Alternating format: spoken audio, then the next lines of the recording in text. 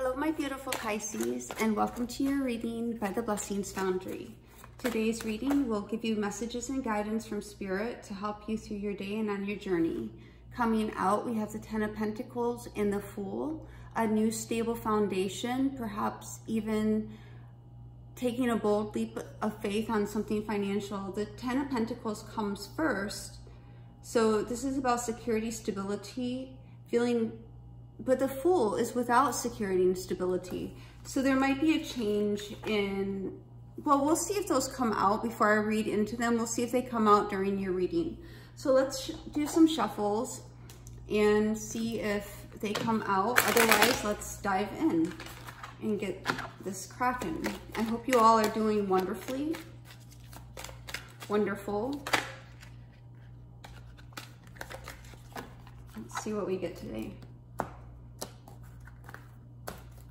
Sorry I didn't do a reading yesterday. I was just slammed with stuff. So finally got a break in work. So, all right, let's see what we get for you today. Spirit, what messages and guidance do you have for Pisces at the time they view this video? What messages and guidance do you have for Pisces at the time they view this video, please?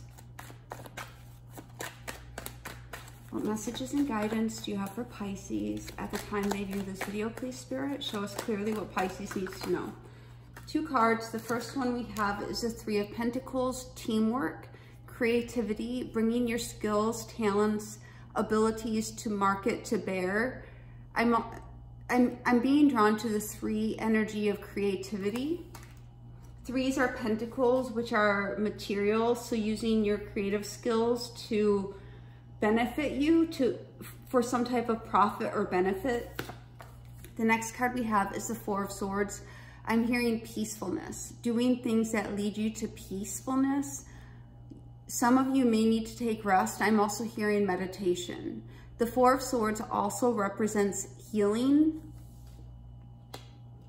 So I, I'm getting also creativity, utilizing your creativity may be very healing for some of you. What other messages do you have for Pisces, please? The next message we have is the Nine of Pentacles, that security, that stability. The Nine of Pentacles, the card is very yellow. So we see a lot of self-empowerment, self, self-belief is what I'm hearing. So we're, we're seeing you in a very stable, very comfortable environment. The Nine of Pentacles has worked for what they have. The Nine of Pentacles represents a vitality of good, good health, good strength, good security and stability.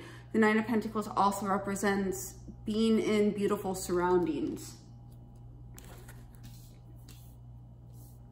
What other messages do you have for Pisces, please, Spirit? What other messages do you have for Pisces, the Nine of Pentacles is very comfortable.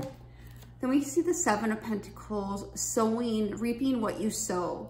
Really thinking about what it is you want, what it is you've done. I'm getting contemplation. We'll clarify these in a moment as well. What other messages for Pisces? Thinking something through, really thinking something through. Looking at all the different options, looking at the different material things you have around you. What other messages for Pisces? Looking at your financial options as well, whether that be different jobs, applying for different jobs, different financial investments. The Seven of Pentacles is a card of investing long-term. What other messages for Pisces? Thank you. One more message for Pisces, please. Anything else for Pisces? Thank you. And the Eight of Wands. So We'll see what's going on. Beautiful. Really thinking about what it is that is your wish fulfillment. The Nine of Cups is about you. This is about you. We have the Nine of Pentacles and the Nine of Cups. This is very beautiful energy. Getting yourself to a place of security, stability, belief in yourself, self-confidence, I'm hearing that some of you may be struggling with your self-worth. That is not for everybody, but for those of you who do resonate with challenges with your belief in yourself or your belief in your self-worth. Spirit is telling me, and I'm getting chill bumps, you are worthy and you are deserving.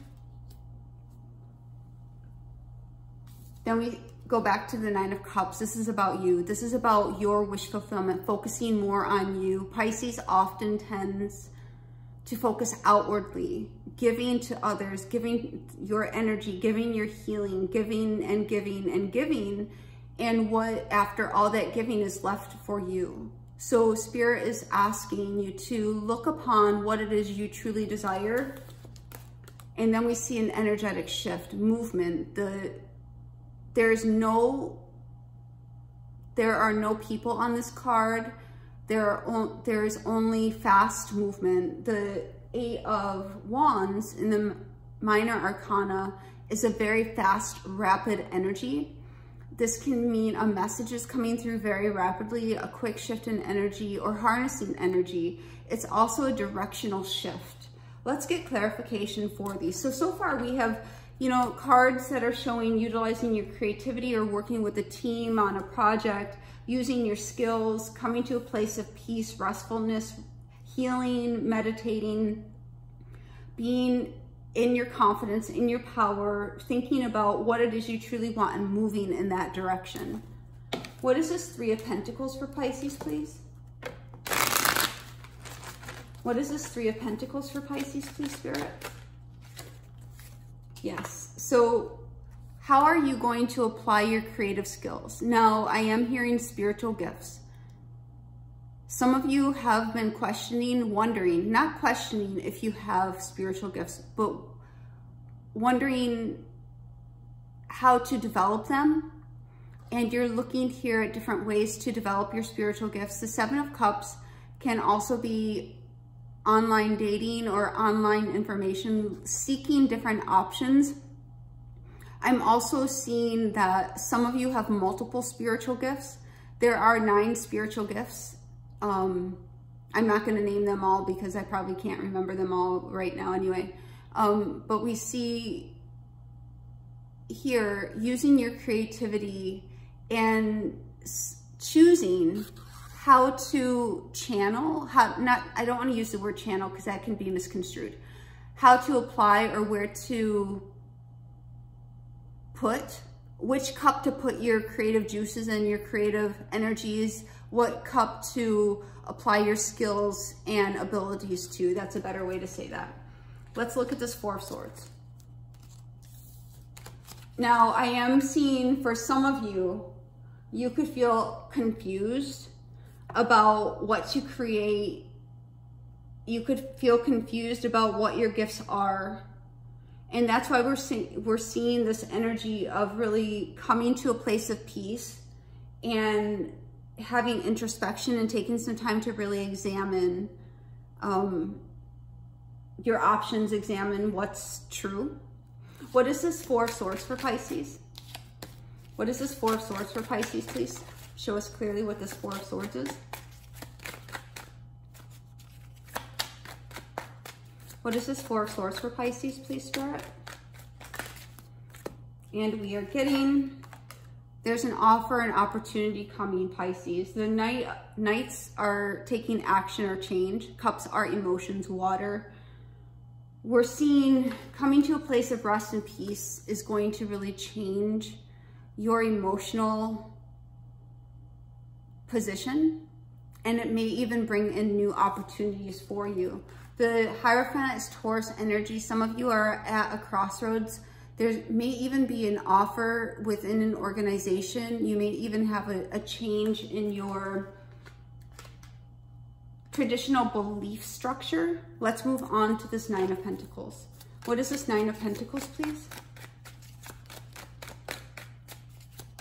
I'm, I'm also hearing off this Hierophant, there could be a foundational change. Coming to a place of rest, a place of healing, a place of peace is going to usher in an emotional change for you that can lead to a foundational shift. What is this Nine of Pentacles, please? So particularly, going back to this, particularly for those of you who feel very at sea, very restless, very questioning, it's going to be more important. It's important for all of you, but it's going to be more so important for you to find a place of peace, a place of calm, a place of stillness within yourself. What is this Nine of Pentacles? If you don't have stillness within yourself, you'll never have stillness in the world. What is this Nine of Pentacles, please? And we are getting the King of Wands. So this is about self-empowerment. The King of Wands sits in the seat of authority, is in the seat of control, is not budging, but is holding the Ace of Wands, a passion, a possibility of growth and expansion, and it's coming from a place of self-empowerment, of security, of stability. So this is about your self-empowerment, Pisces, how you're how you're applying your skills, your your gifts, your abilities, coming to a place of peace, of stillness, so you can more clearly discern and decide how to go forward. But this is going to take some examination. What is the Seven of Pentacles for Pisces? What is the Seven of Pentacles for Pisces? I'm, I'm hearing even if you already know or you think you already know what direction or what gifts or abilities you have, it's still going to be beneficial for you to take time to reflect upon them and reflect also about like opening yourself up to new or different possibilities, creative abilities, educational po possibilities, or different gifts as well. What is the Seven of Pentacles, please? And here we have the Fool. Opening yourself up this is a reset. What direction do you, I mean, I keep hearing, how does your garden grow? I don't know why I keep hearing that, but I, I do. It's like, how does your garden grow? And we see taking a bold leap of faith in a new direction. Your spirit is with you. The sun is shining upon you.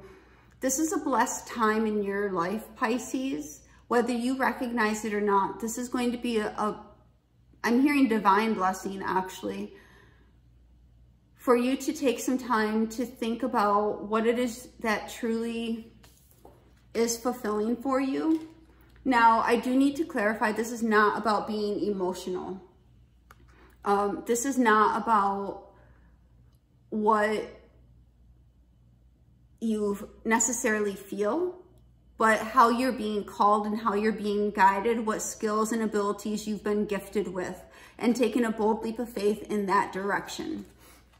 What is this Nine of Cups for Pisces? What is this Nine of Cups for Pisces, please? So what I'm hearing is there's a reason that you have a want. Those are seeds that are planted from your soul path.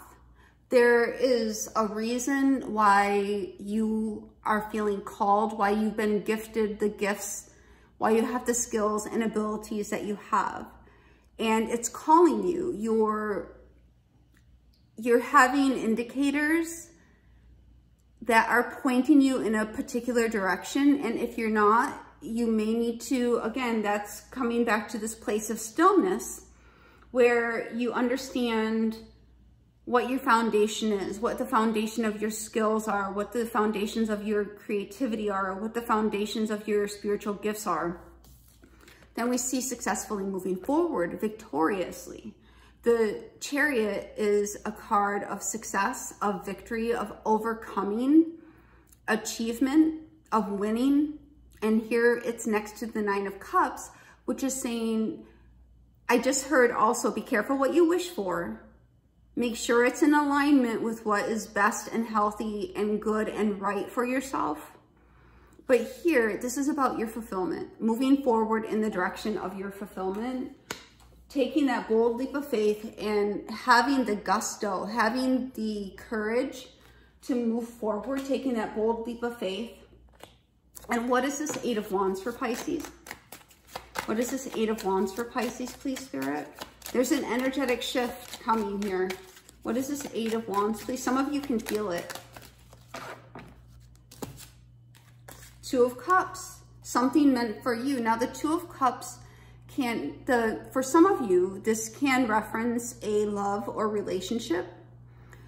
Eight of Wands can also, oops, Eight of Wands can also be Cupid's love arrows aiming directly in the direction of love or a relationship. For those of you who this is not that type of reading, it's just definitely not that type of reading.